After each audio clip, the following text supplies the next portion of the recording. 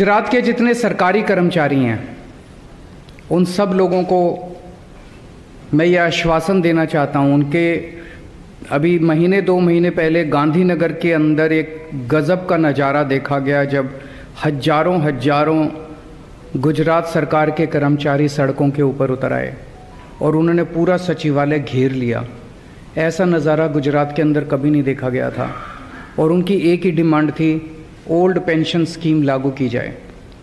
मैं आज गुजरात के सारे कर्मचारियों को बोल कहना चाहता हूँ कि हमारी सरकार बनेगी।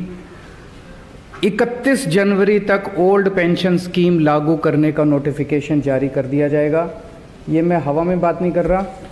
पंजाब के अंदर ओल्ड पेंशन स्कीम जारी करने का नोटिफिकेशन जारी हो गया है। ओल्ड पेंशन स्कीम दोबारा लागू कर दी गई है पंजाब के अंदर। हमारी सरकार बनती और ये नोटिफिकेशन जारी हो गया पंजाब के अंदर।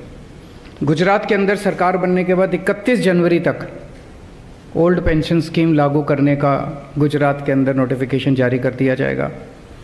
इसके अलावा बहुत सारे दूसरे कर्मचारी हैं, कच्चे कर्मचारी हैं कॉन्ट्रैक्ट वाले कर्मचारी हैं।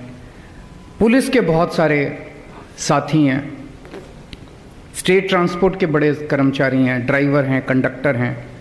वीसी हैं बहुत सारे। ग्राम रक्षक हैं, होमगार्ड हैं। आंगनवाड़ी वर्कर हैं, आशा वर्कर हैं टीचर्स हैं हेल्थ वर्कर्स हैं, तलाटी हैं, सफ़ाई कर्मचारी हैं, इनके कई सारे मुद्दे हैं।